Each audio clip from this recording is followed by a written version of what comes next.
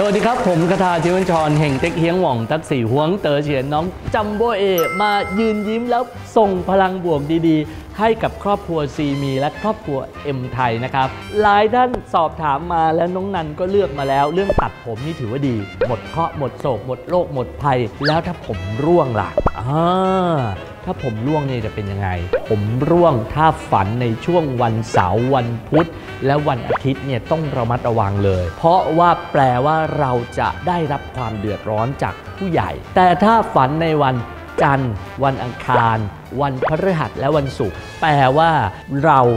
จะทำความเดือดร้อนให้ผู้ใหญ่สลับกันนิดหนึ่งนะครับสำหรับเรื่องของผมร่วงนะครับ วิธีการแก้ไขเรื่องของการฝันว่าผมร่วงก็คือทำบุญเกี่ยวกับเรื่องของอะไรครับ โรคผิวหนัง เช่น โรคเลือนนะครับ รวมไปถึงทำบุญเกี่ยวกับเรื่องของโรคเลือดต่างๆ กล้ามเนื้อและกระดูกตามโรงพยาบาลต่างๆ เช่น ผู้ป่วยอนาถา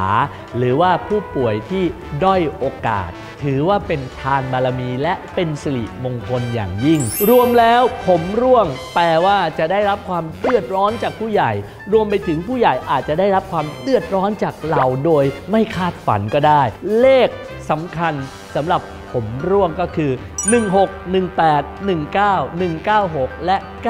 918 ถือเป็นชุดเลขมงคลครับ เชื่อมั่นในไพ่ในผมและในตัวเองกับผมคาถา